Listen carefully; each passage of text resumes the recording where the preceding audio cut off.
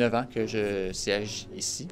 Euh, et jamais j'ai vu six premiers ministres s'allier de, différentes formations politiques, de surcroît, s'allier pour envoyer un message clair qu'une réforme, et une réforme euh, au centre des actions du gouvernement, ne satisfait pas.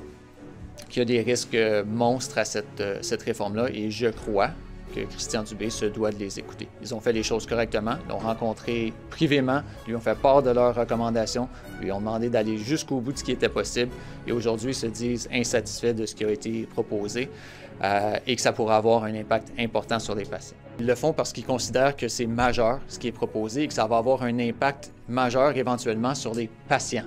Euh, il est là l'enjeu. Alors, J'espère que quelqu'un va être à l'écoute. J'espère que quelqu'un entend leur message au gouvernement, que ce soit le ministre de la Santé, que ce soit le premier ministre, que ce soit qui que ce soit qui se lève au Conseil des ministres aujourd'hui pour dire Hey, minute, là, il y a six premiers ministres qui nous ont dit qu'on va enlever l'âme des, euh, des fondations. Euh, pour concentrer le pouvoir entre les mains de certains hauts dirigeants, ceux qu'on a qualifiés de Top Gun, qui vont mieux gérer que tous les gens qui sont sur le terrain, y compris ceux qui maintiennent euh, l'excellence dans les centres euh, universitaires de, recherche et de santé depuis, dans certains cas, plus d'une centaine d'années.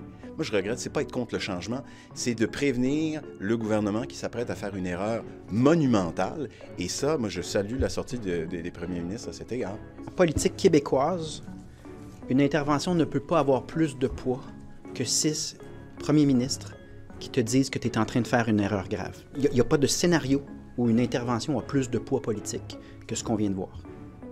Euh, je sais pas vous, mais moi, ça fait neuf ans que je siège ici à l'Assemblée et euh, je ne me souviens pas d'avoir vu une sortie commune de six premiers ministres pour dénoncer une politique gouvernementale. Pour que M. Charret et M. Bouchard s'allient, c'est parce que l'heure est grave, Madame la Présidente. Pour que Pauline Marois et Philippe Couillard écrivent conjointement, c'est parce que ça ne va pas du tout et parce et si les deux premiers ministres Johnson rejoignent leur voix, on n'a pas le choix d'entendre leur message. Et c'est la réforme du ministre de la Santé qui est en jeu aujourd'hui. Je les cite. La fusion à Santé Québec des soins de l'Institut de cardiologie de Montréal et des autres établissements universitaires mènerait inévitablement à un recul de leur performance dans la poursuite de leur mission d'excellence en santé au détriment des patients et de l'ensemble de la société québécoise. Ça vient de six premiers ministres qui ont l'intérêt supérieur du Québec euh, en tête. J'ai pas besoin d'en rajouter. Qu'est-ce que vous leur répondez, Monsieur le Premier ministre? Je pense au contraire, Madame la Présidente, que les Québécois nous ont dit, et je le répète, le statu quo n'est pas possible. Ça, je l'ai entendu depuis deux ans, c'est clair. On a vécu une pandémie.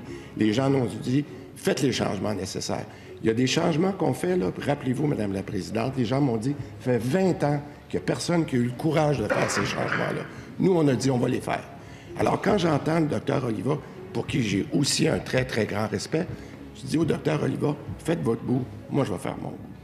Est-ce que c'est normal aujourd'hui qu'il y ait encore 800 000 Québécois qui attendent pour un rendez-vous avec un spécialiste? Non, c'est pas correct. Et c'est ça qu'on doit changer. Alors, à chaque patient, je dis aujourd'hui, nous allons avoir le courage de faire les changements nécessaires.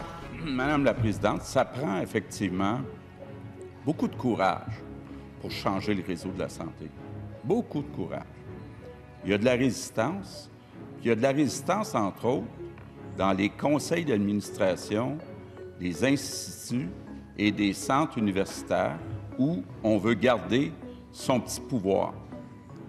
Madame la Présidente, comme l'a expliqué le ministre de la Santé, il y a comme deux grandes missions dans les instituts et les centres universitaires.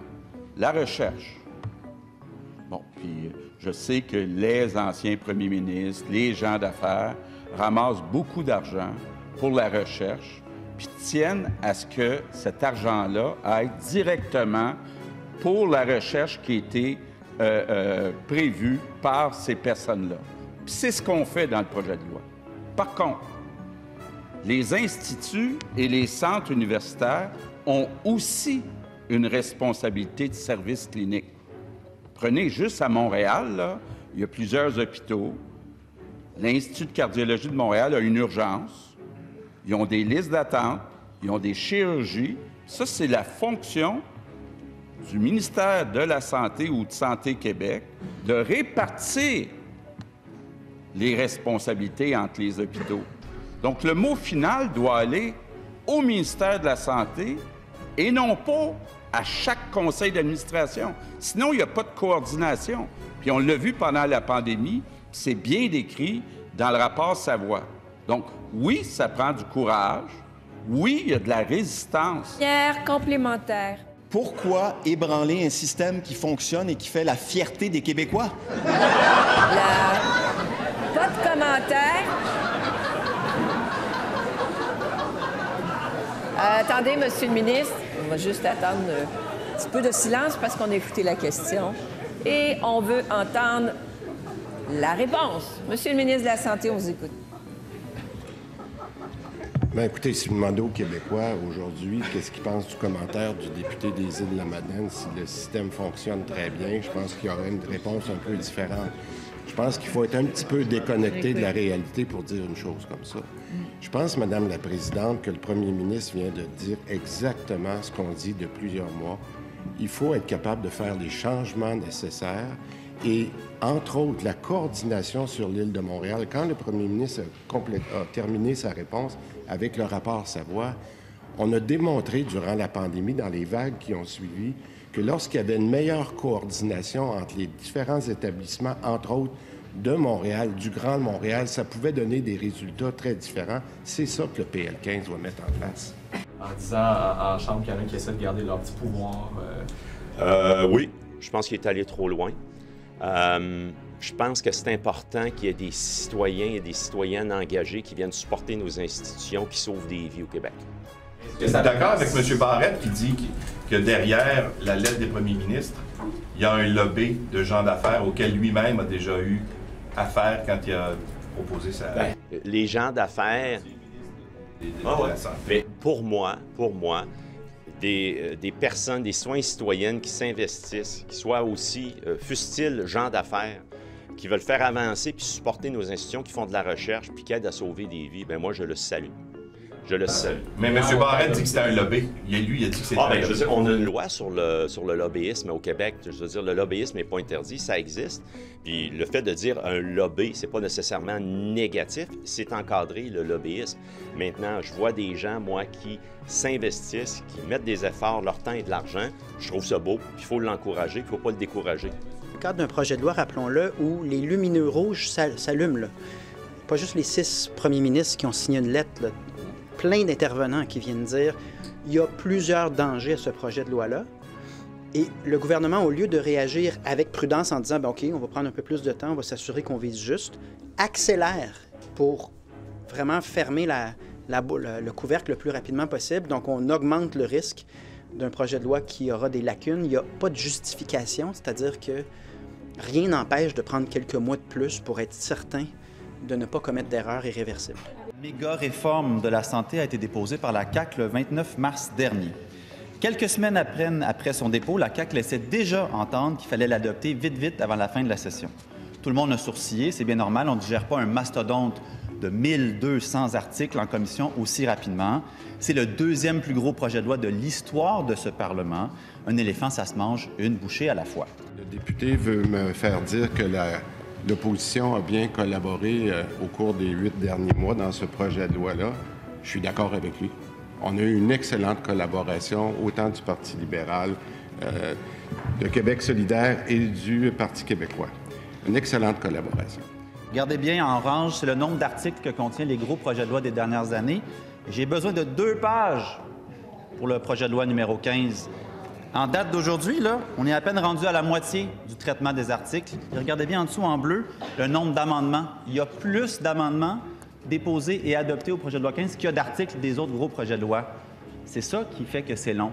Le ministre dit qu'on travaille bien. Je suis content de l'entendre. Euh, la réforme du B qui euh, est mal reçus dans les régions du Québec qui, suscitent énormément de préoccupations. Je vous dirais, on s'est jamais totalement remis de la première réforme Barrette qui a laissé des traces, des cicatrices profondes sur notre réseau de la santé. Et je vous dirais que chaque fois qu'on nous arrive avec une nouvelle entreprise de centralisation, puis de ramener, de retirer des pouvoirs aux régions pour les ramener à Québec, il y a de vives préoccupations qui méritent d'être répondues. Deux choses. Ça ne changera pas notre vote à la fin. On va voter contre. Mais au moins, de grâce, on peut-tu lire les articles, surtout qu'il risque d'avoir de nouveaux amendements qui sont substantiels. On ne veut pas se faire passer un sapin de Noël avant le temps des fêtes. Ils sont juste quatre députés. Je leur faisais pas grief avant aujourd'hui de ne pas être là la majorité du temps sur le projet de loi 15. Mais de nous dire pas de consentement, puis on vient de vous empêcher de travailler trois jours de plus, là, je leur fais grief.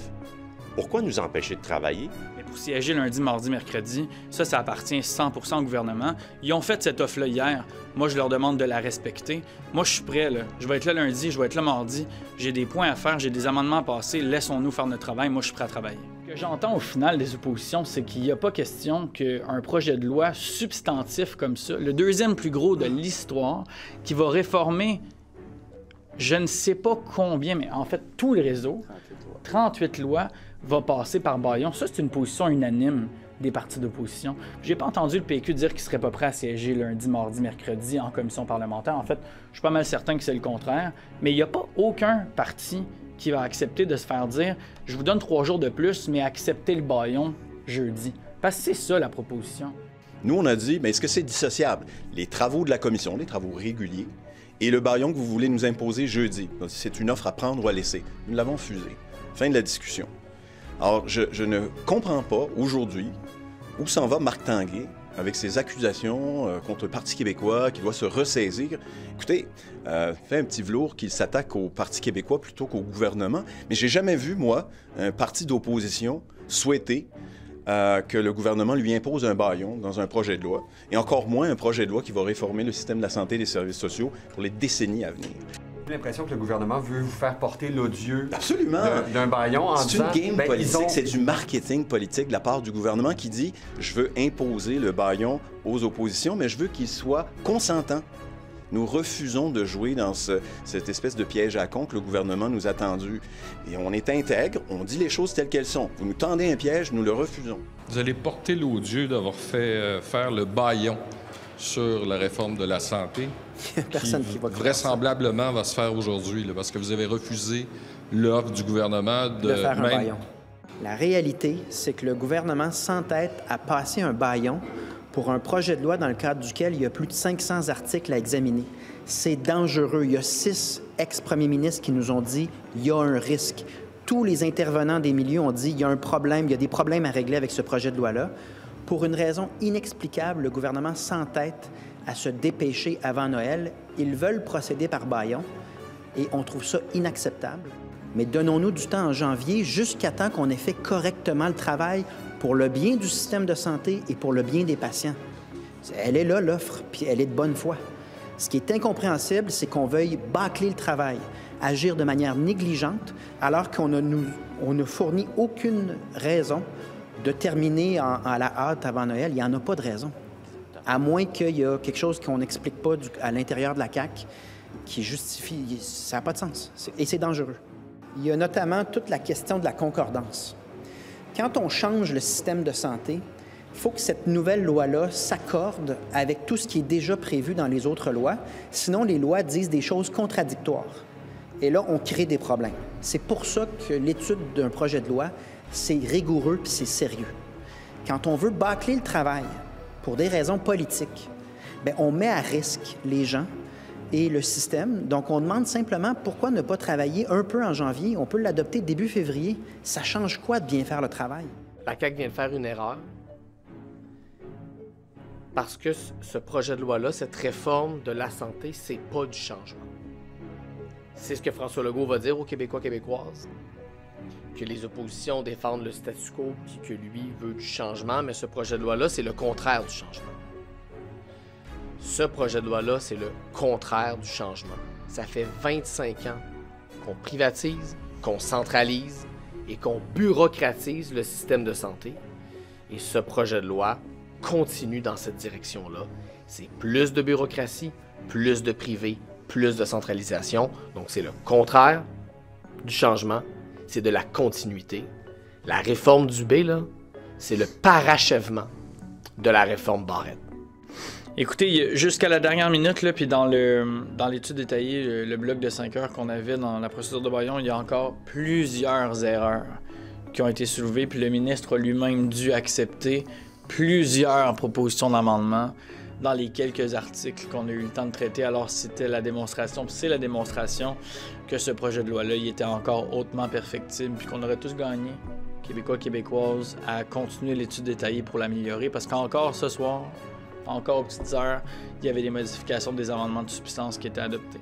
Euh, et ça, à peu près euh, tous les représentants du personnel de la santé nous l'ont dit, c'est un projet de loi qui va démobiliser euh, le réseau de la santé. Gouvernement qui décide d'adopter euh, par la force, par la force du nombre euh, de députés, euh, sous Bayon, un projet de loi qui est un projet de loi mammouth qui va transformer le système de santé de bout en bout en créant une société d'État, Santé Québec, et euh, qui euh, nous entraîne dans une réforme euh, encore plus importante que celle qui a traumatisé tout le système de santé et ceux qui y travaillent depuis euh, 2015-2016, et, et qu'on le fasse sans étudier le tiers des articles. C'est absolument incroyable.